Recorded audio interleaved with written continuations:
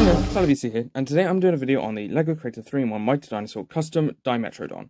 So here it is, looking pretty nice if I do say so myself. The head is on a ball joint so it can move all around like this. The mouth is on a hinge so it can open and close.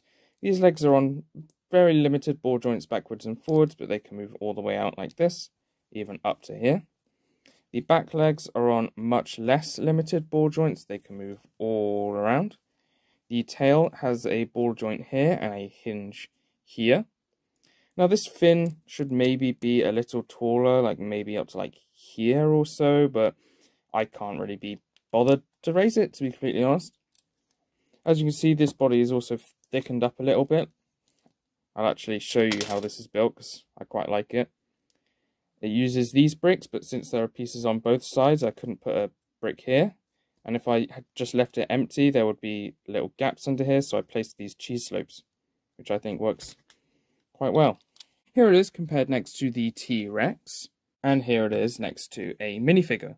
I do have instructions for this guy, you can find them in the instruction playlist linked up here. But um, yeah, that's about it for this video. You can find my socials linked in the description. So I guess that's SalooBC out.